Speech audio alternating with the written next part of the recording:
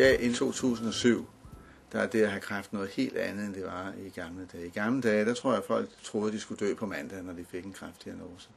I dag er der noget at gøre for alle patienter med kræft. Det er en vigtig ting.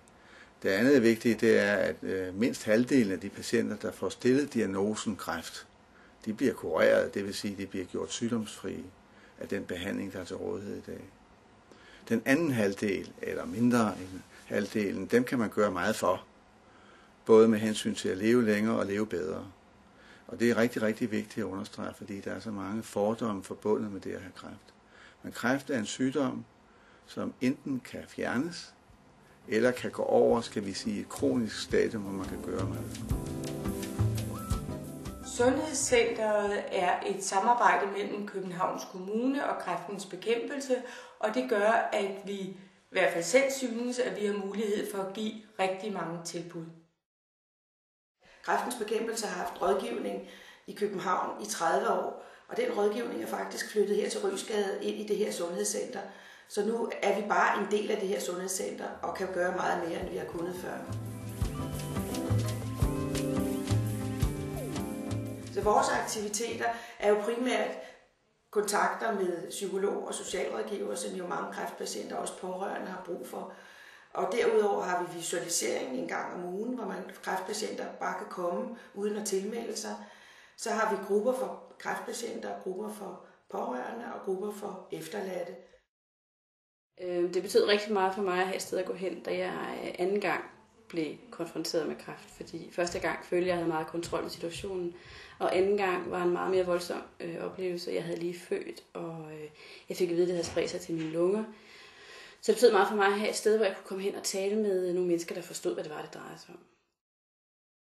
Hvis jeg har brug for en dag, og jeg sidder på mit arbejde og får et angstanfald, eller hvis jeg ved, det er en time før, jeg skal til kontrol, og jeg kan slet ikke holde det ud, og at jeg ikke kan snakke med nogen, så kan jeg altid komme her og komme ind uden at bestille tid.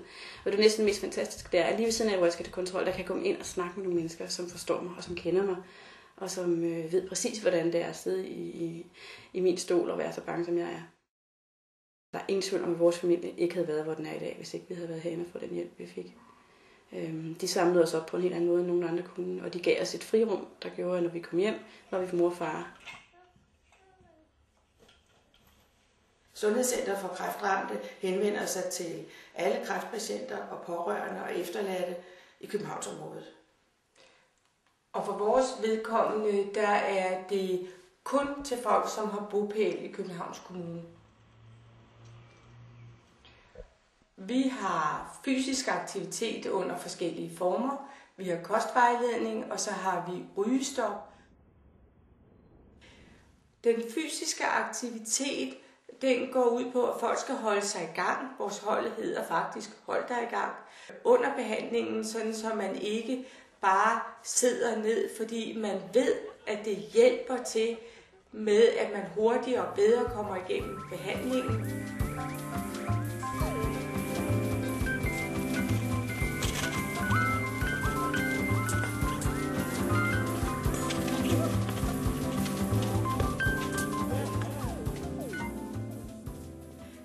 Vi hele undervisningsdelen, hvor vi har fokus på øh, de senfølger, primært i form af træthed, som er til kraftbehandling, hvor vi prøver at give nogle råd om, hvordan kan man komme sin træthed til livs.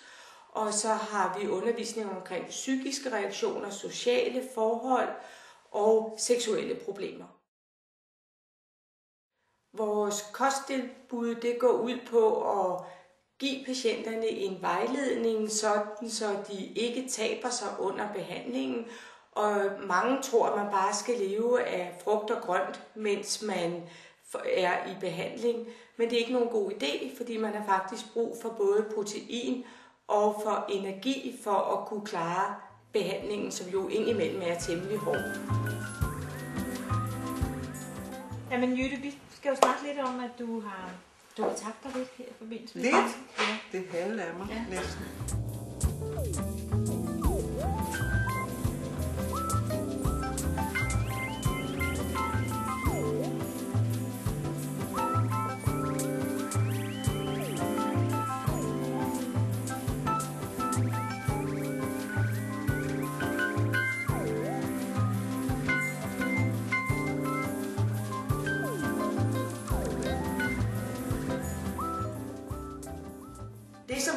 Meget vigtigt for os i hele planlægningsfasen, det er at realisere en, et stort rum. Det er faktisk Sundhedscenterets allerstørste rum. En stor åben café med flere sædegrupper, hvor patienter og pårørende kan komme og sidde og se på vores materiale, skriftlige materialer, og de kan snakke med hinanden, og de kan altså det på den måde også udveksle erfaring og støtte hinanden. Så kan de bruge netcaféen altså få viden, og de kan læse vores pjæser. Og øh, det er der, hvor de ser alle vores aktiviteter, som de kan tilmelde sig, og de kan også komme til at tale med en rådgiver eller en frivillig. Så der er mange muligheder.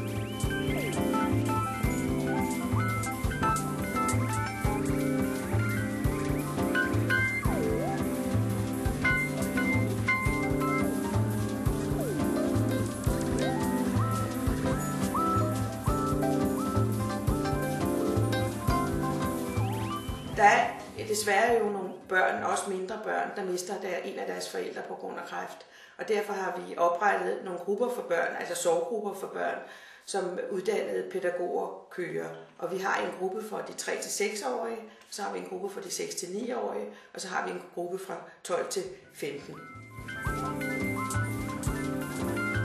Kræftpatienter er jo unge også, en del af dem, og der er det vigtigt, at man kan tage sine børn med, så kan de sidde og lege eller se en DVD, mens mor og far snakker med en rådgiver.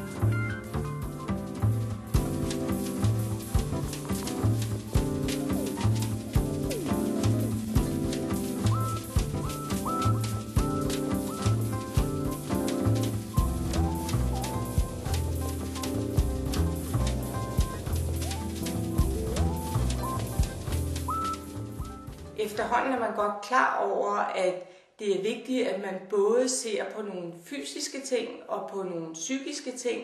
Og her synes vi begge to, at vi har fået mulighed for at tilbyde det hele, sådan så at patienterne kan hjælpes i størst mulig omfang.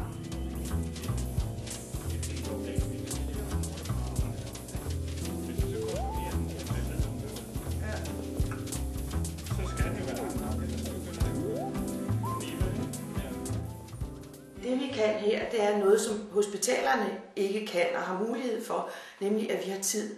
Tid til at tale lang tid med patienterne og lytte til deres problemer og sætte os ind i deres problemer og knytte personer til dem, så de kommer til at tale med den samme hver gang.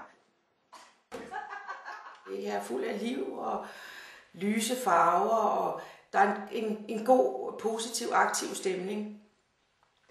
Meget af det, som folk også har sagt til os, det er, at det her, der skal også være noget, der er sjovt. Det skal, det skal være en glæde at komme her. Det skal ikke bare handle om sygdom. Og derfor har vi også planlagt tøjbytningsaftener og make-up, øh, sådan så man øh, føler, at det er et almindeligt liv, man lever. Alle er velkommen i Sundhedscentret i Rysgade. kusoo dhawaada dhammaantiin centerka caafimaadka ee qoyskaya Ruiska'da bulunan sağlık merkezi herkes içindir. İsteyen buradan yararlanabilir. أهلا وسهلا بالجميع في المركز الصحي غيشكال हम आप सबको मरकज सेहत गुइसकल में खुश आमदीद कहते हैं Jeg synes, det er rigtig vigtigt, når man snakker om kræft og kræftbehandling, at det ikke bare handler om at overleve, og ikke bare handler om at leve længe, men også at leve bedre. Og i takt med, at der bliver flere og flere, der lever længere, så er det blevet et vigtigere og vigtigere problem eller opgave. Og derfor er det så godt, at der er lavet nogle aktivitetscenter, hvor der kan tilbydes aktiviteter og rådgivning til patienter med kræft, og ikke mindst deres pårørende. Og Sundhedscenteret i Rysgade er et sådan tilbud, som både har rådgivning og aktiviteter. Og det bliver rigtig, rigtig vigtigt, at vores patienter kommer derned, både under behandling og efter behandling, og gerne sammen med deres pårørende, men også for at møde andre kræftpatienter. Det at mødes med ligestillede, og lave et eller andet, har en kolossal kunstig effekt på forløbet, både med hensyn til kontrol med bivirkninger, humør og alt muligt. Så jeg kan kun opfordre til, at man tager imod det tilbud sammen med sin pårørende.